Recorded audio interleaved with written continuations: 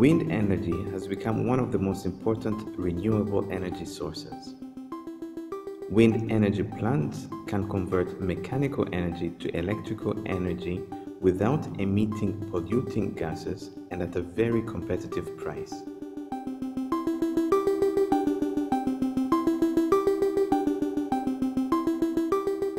De Lorenzo has designed a new trainer to allow students to study the functions and the operations of a modern wind power plant. With this trainer, it is also possible to study the relationships between a pitch control system and the wind, to analyze the mechanical as well as the electrical parameters within an induction generator, to perform experiments on the starting of a wind system, on the doubly fed induction generator, and on the fault ride through conditions. The wind speed and direction are simulated by means of a device composed of a controllable power supply and a fan, and their parameters are measured through an anemometer. The power of the wind is emulated by a brushless motor controlled by the software. The brushless motor is mechanically connected to a generator that develops the same speed as the encoded speed of the brushless motor.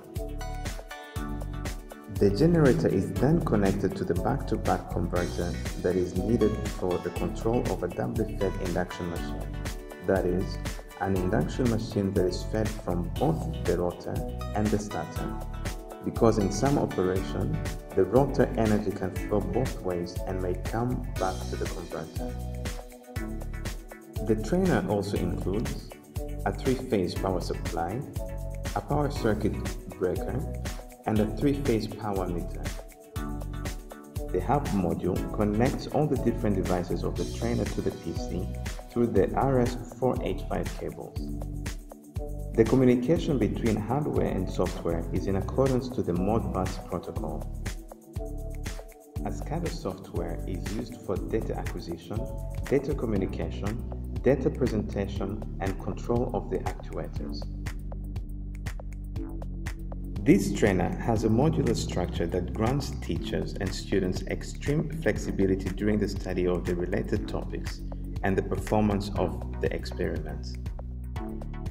The trainer is provided with a well-detailed manual that includes both the theoretical principles underlying the wind power plant operation and the step-by-step description of the suggested experiments.